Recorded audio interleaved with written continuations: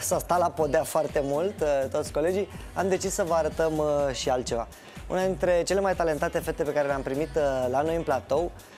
Noi suntem subiectivi pentru că suntem și prieteni oarecum cu părinții. Este Măriuca Iordache. Măriuca Iordache zilele astea are șansa în izolare să se antreneze cu unul din cei mai tari balerini ai planetei. Măriuca are 14 ani acum și crește foarte repede și e tot mai frumoasă și asta ne enervează și pe noi și pe Tasu și uh, succesul o va duce foarte departe de casă și asta ne enervează și pe noi și pe Tasu. Dar am zis să o mai susținem un pic, că la bătrânețe nu știi niciodată. Măriuca, bună dimineața! Bună dimineața! Uh, ești la antrenament și asta este foarte bine că nu stai uh, locului, cu ei razna, bineînțeles. Cu cine te antrenezi? Uh, eu de fapt antrenez cu un prieten al nostru, care tocmai a terminat școala în Anglia, a venit să ne viziteze și a rămas blocat aici. Foarte Dar lucrul este foarte bun, deoarece ne putem antrena împreună. Am înțeles că este celebru uh, peste tot. Uh, în ce constă antrenamentul ăsta pe care practic trebuie să-l faci singură sau în maxim uh, doi? Uh, poți, poți să faci lucrurile pe care le făceai de obicei la un antrenament? Da, normal. Uh, trebuie să ne concentrăm la fel cum ne-am concentrat la școală și să ne antrenăm din ce în ce mai bine, pentru că atunci când o să începem, să fim în formă. Hai să vorbim sincer, că se uită și mulți uh, copii care fac sport de performanță. Crezi că dacă ai stat trei săptămâni locului doar pe tabletă sau doar la televizor, ți-ai pierde din calitățile fizice sau poate din flexibilitate? Da, foarte, foarte. E greu să revii forma pe care aveai înainte. Ai avut vreodată o săptămână, două săptămâni în care să nu faci nimic, nimic, nici măcar o sfoară? Um, da, am avut, dar asta de ce am avut probleme am cu spatele, oricum, și nu mi-am permis corpul să fac antrenament. Da, după aia revenirea bănesc că a fost uh, dificil. Da. Spune-mi, ce trebuia să se întâmple anul ăsta dacă nu se întâmpla pandemia? Ce gânduri aveai? Um, Uh, eu tocmai ce am participat la Olimpiadă. Da, ai luat locul 2. Locul 2, da. da.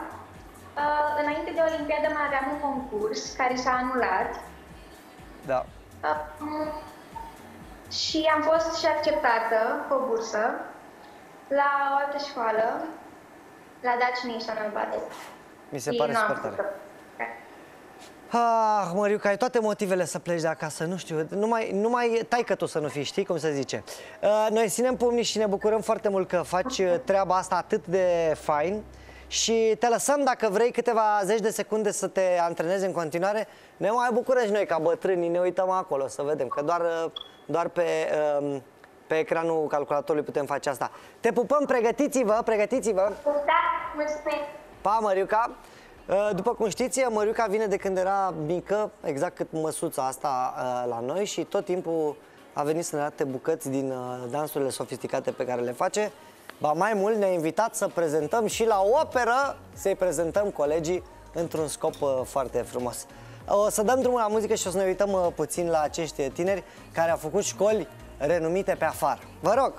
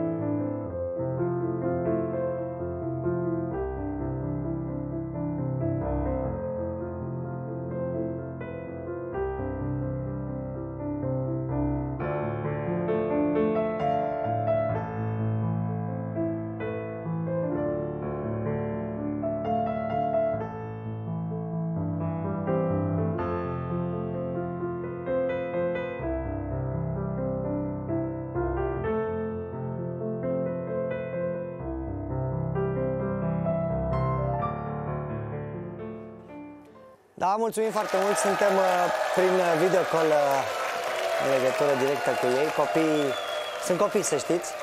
Uh, au reușit să... Eu am băgat fața asta pe care o bag tot timpul. Eu când merg la balet trebuie să ai o față, să nu zic că la din stânga tu nu înțelegi. Înțeleg? Ia. Yeah. Oh, ce pas de plier, pas d'avancer. Très heureux, jusqu'en fâche. Très heureux. Imediat. Puteam fi și eu ca Lazaro, dar uh, uite, din păcate școala de balet de la Rești a fost foarte lăsată în urmă și nu, nu m-au chemat.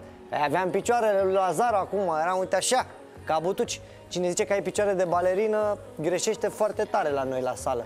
Fetele astea au o forță în picioare care la noi la sală ne-ar face pe mulți să plângem. Și Lazaro a văzut ce musculatură are. Ăsta puteam fi eu. Frumos, picioare musculoase, să văd toată lumea și să trăiesc între fete.